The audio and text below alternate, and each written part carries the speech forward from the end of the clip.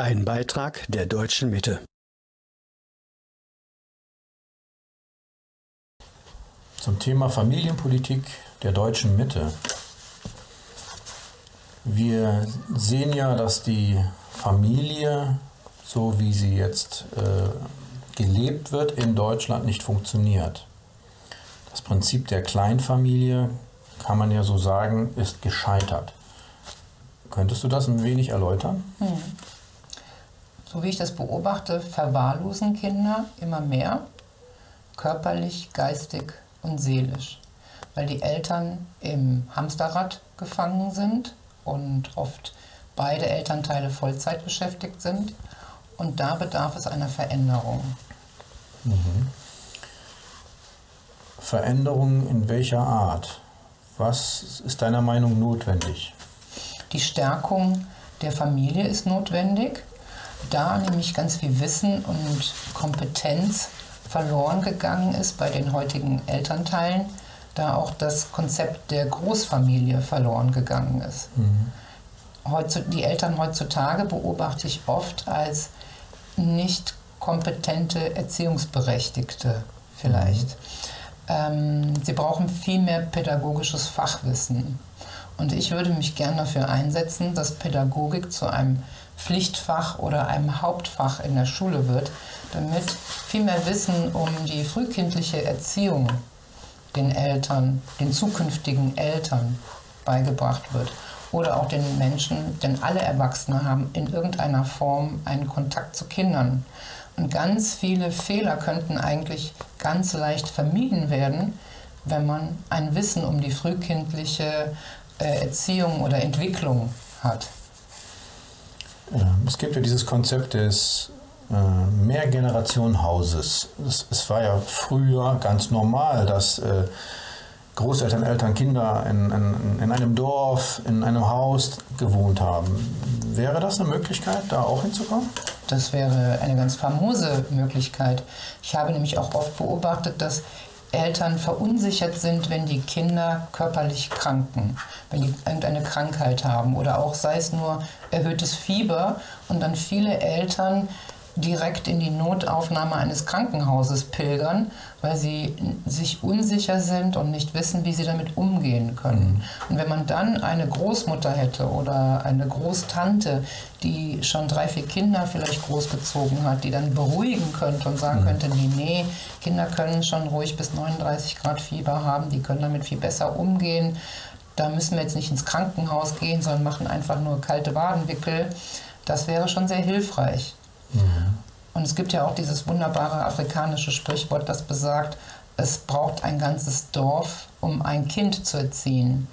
Die Verantwortung nur auf Mutter und Vater zu übertragen, ist zu groß. Mhm. Die Eltern sind ja auch nicht immer 24 Stunden bei den Kindern, sondern die sind auf der Straße unterwegs, auf dem Spielplatz. Und wenn man da andere Erwachsene hätte, die dann auch mal eingreifen könnten und was korrigieren könnten am Verhalten der Kinder, das wäre schon sehr hilfreich und würde die Eltern entlasten. Ja. Ich kann mir gerade gut vorstellen, dass jetzt irgendwelche Leute aufschreien und sagen, oh, das kostet alles Geld, wer soll das bezahlen? Hast du da eine Idee? Ich glaube, es gibt genug Geld im System, es darf umverteilt werden. Und genau. ähm, heutzutage ist es ja auch so, dass viele Familien auseinanderbrechen, dass Eltern sich trennen und Kinder dann bei einem alleinerziehenden Elternteil groß werden. Mhm. Und da wäre es sinnvoll, sich die Steuerpolitik nochmal anzuschauen und nicht eine kinderlose Ehe steuerlich zu fördern, sondern auch wenn Elternteile nicht verheiratet sind oder wenn sie offiziell getrennt sind, dass das Elternteil, in dessen Haushalt sich die Kinder hauptsächlich aufhalten, dass das staatlich, steuerlich gefördert wird. Ja. Ein sehr guter Punkt. Es sollte ja nicht so sein, dass eine, in dem, sagen wir mal, in dem Fall eine Mutter die ihr Kind erzieht, getrennt lebend ist, äh, irgendeinen Job annehmen, annehmen muss, um ein bisschen Geld zu verdienen und dass, auf, dass das zu Lasten der Kinder geht. Daher und, und äh, in unserem Land, in Deutschland, wir haben genug Geld. Wir haben so viel Geld, dass, wie schon richtig gesagt hast, äh, umverteilt werden sollte. Wenn ich überlege, der Ukraine-Konflikt, dafür ist gerade Geld ohne Ende da. Mhm. Also die, die, die Zahlen sind ja, die sind ja äh, schwindelerregend, wie viele Milliardenbeträge plötzlich locker gemacht werden können, um irgendwelche Kriege zu befeuern. Das heißt, für die Leute, die nicht glauben wollen, dass wir kein Geld haben, hier liegt falsch, ihr Lieben. Es ist so viel Geld hier. Unsere Steuereinnahmen, ich habe vor kurzem gehört, äh, wir hätten letztes Jahr, nächstes, vorletztes Jahr so eine Rekordsteuereinnahme erzielt in Deutschland. Also Geld ist kein Thema, es ist da. Allein, wenn wir einen Panzer nicht bauen würden, wie viele Familien dafür ihre Kinder vernünftig erziehen könnten. Mhm. Also in Skandinavien gibt es zum Beispiel auch Modelle, wo Eltern finanziell unterstützt werden, wenn sie ihr Kind nicht in den Kindergarten geben.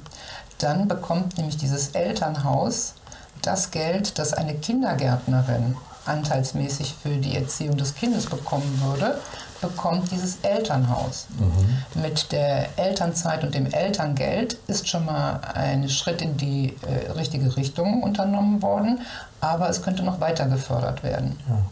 Schulen müssten viel mehr finanziell unterstützt werden. Der Schlüssel äh, Lehrer und Schüler in einer Klasse ist viel zu groß. Ja. Auch der Staat sollte sich aus den Schulen, aus dem Lehrsystem zurückziehen. Also meiner Meinung nach sollten der, Staat Leitplanken vorgeben und nicht mehr. Nur das aller, aller Notwendigste und das, die Innerei, die Innereien von diesem System müssen die Schulen mit den Schülern machen. Dass, das, dass der Schüler im Mittelpunkt steht, die bestmögliche Ausbildung, wobei auch keine Zeit kein Thema spielt. Wenn ein Kind, alle Kinder müssen individuell betrachtet werden und wenn ein Kind ein Jahr mehr braucht oder zwei, dann ist das so. Wir sollen weg von diesem Schulsystem, das industriekonforme Leute ausbildet, sondern zu, zu, zu dass die Kinder sich ihrer selbst bewusst werden, was sie wollen, was ihr Schwerpunkt ist, was ihre Berufung ist. Ja, wofür sie brennen. Für sie brennen, genau. Also ein gutes Mittel wäre zum Beispiel auch die, das Alter der Einschulung nach hinten zu versetzen. Das war in Deutschland früher ja auch so. Die Kinder wurden nicht mit sechs Jahren eingeschult, sondern mit sieben. Mhm. Dann sind sie eher schulreif. Mhm. Oder die Klassenstärken verkleinern. Mhm. Wäre es auch eine gute Idee, wo wir gerade hier mit Familienpolitik äh, dabei sind, äh, die, dass Kinder sechs Jahre lang von ihren Eltern betreut werden und nicht, so wie es jetzt ist, weniger. Wenn die Eltern kompetente äh, Elternrollen übernehmen, dann wäre das mit Sicherheit gut. Mhm. Denn die Bindung zwischen den Eltern und den Kindern ist das Fundament einer gesunden Entwicklung der Kinder. Ja. Und heutzutage verbringen Kinder sehr wenig qualitative Zeit mit den Eltern. Ja, prima, vielen Dank.